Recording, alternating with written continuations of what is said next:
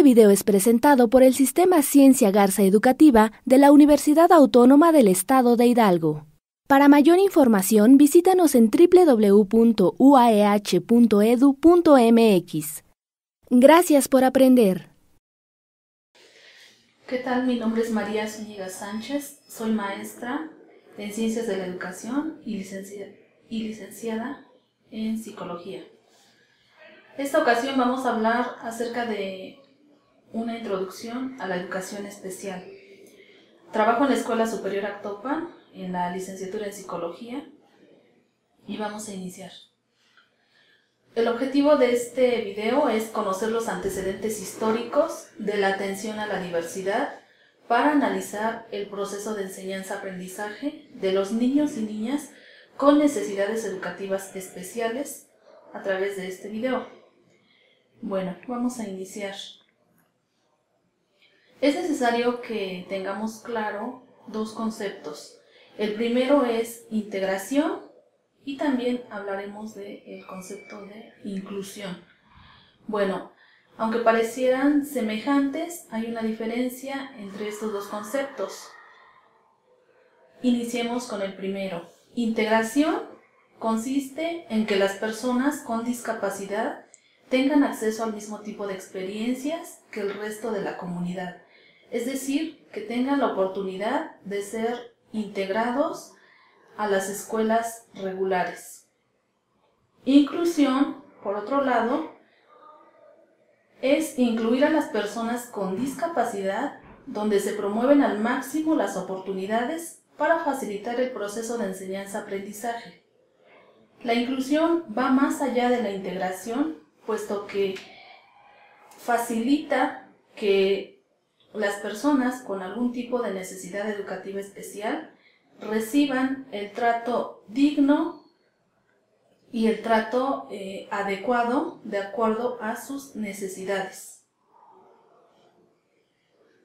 Bueno, respecto al marco jurídico, se sabe que todos los seres humanos tenemos derecho a la educación. Por lo tanto, es un derecho humano universal a partir de 1948 después de la Segunda Guerra Mundial. Es derecho humano universal como una medida para proteger a los niños contra la explotación infantil y también para garantizar que los adultos en algún momento tengan el acceso a la educación. Respecto al marco jurídico nacional, específicamente el artículo tercero de la Constitución Política Mexicana, trata acerca de ese derecho a la educación. Por otro lado, el artículo 41 señala que la educación especial está destinada a cada persona con discapacidad transitoria o definitiva, así como aquellas con aptitudes sobresalientes. Aquí cabe mencionar que la persona que tiene necesidad educativa especial es aquella que tiene algún problema, por ejemplo, de lenguaje, sordera, ceguera, autismo, etc.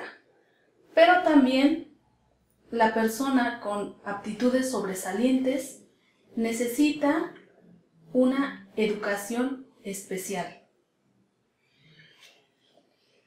Respecto a la integración educativa, eh, vamos a hablar de algunos antecedentes. Surgió una em, Declaración Mundial de la Educación para Todos. Fue una conferencia celebrada en Yongtien, Tailandia, en 1990, en donde se reúnen todos los países miembros de la UNESCO. Como su nombre lo indica, se promovía una educación para todos. Posteriormente, para 1994, se reúnen nuevamente los países miembros de la UNESCO en Salamanca, surgiendo así la Declaración de Salamanca. Respecto a la primera eh, conferencia, la Declaración Mundial de la Educación para Todos,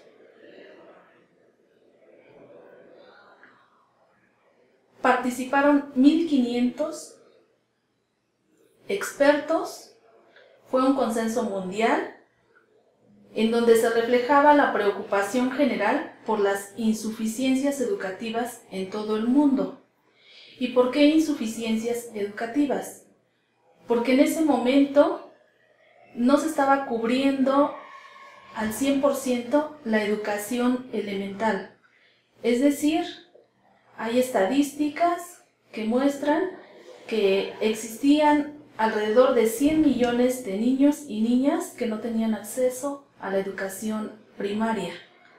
Del mismo modo, había cerca de 960 millones de adultos que eran analfabetas. Es por eso que se propone cubrir la que cubrir la educación básica es el primer paso para el progreso social de los niños, niñas y adultos. A partir de esta declaración eh, de la educación para todos, ha servido como guía para gobiernos, organizaciones internacionales y por supuesto para los educadores. Respecto a la conferencia de Salamanca, promovió la atención a las necesidades educativas especiales. En esta conferencia participaron 92 gobiernos y 25 organizaciones internacionales, en donde se promovía que realmente la educación fuera para todos. Se buscaba una estrategia global para atender la educación especial se buscaba un consenso mundial de tal modo que la educación signifique realmente para todos, incluyendo a los más vulnerables y a los más necesitados. En este caso, se incluía la atención a la diversidad, la atención a, los niños y niñas con necesidades educativas especiales. Por lo tanto, era necesario cambiar sistemáticamente la formación del profesorado para atender a estas necesidades educativas especiales. En esta declaración de Salamanca también se promovía que cada niño tiene características, intereses, capacidades y necesidades de aprendizaje que le son propios. Esto hace referencia al respeto a las diferencias individuales y a la atención a la diversidad. Los sistemas educativos deben ser diseñados y los programas aplicados de modo que tengan en cuenta toda la gama de estas diferentes características y necesidades. Es decir, que se cubran las necesidades de cada niño y niña o de cada persona que se encuentre en el área educativa. Bueno, a manera de conclusión, es importante eh, conocer los antecedentes que dan pie a la atención a la diversidad. Y estas dos conferencias, la de Yomtiem en 1990 y la de Salamanca en 1994, pues fueron favorables para que posteriormente se tomaran en cuenta las necesidades de cada niño. Y el sistema educativo pues pueda mejorar y brindar las atenciones adecuadas, sea en el aula regular o sea en la escuela de, de educación especial. Es importante aclarar que para detectar a estos niños con necesidades educativas especiales se tiene que hacer una evaluación psicopedagógica en donde trabaja un equipo multidisciplinario por ejemplo, el psicólogo educativo, el profesor, el médico, el trabajador social, entre otros. Y a partir de, eh, de esa evaluación psicopedagógica, se van a tomar decisiones adecuadas para el tratamiento, para la intervención psicoeducativa de estos niños y niñas para que de algún modo se promueva su autonomía y puedan desarrollarse en todos los contextos. Bueno, esto es todo por hoy. Agradezco su atención.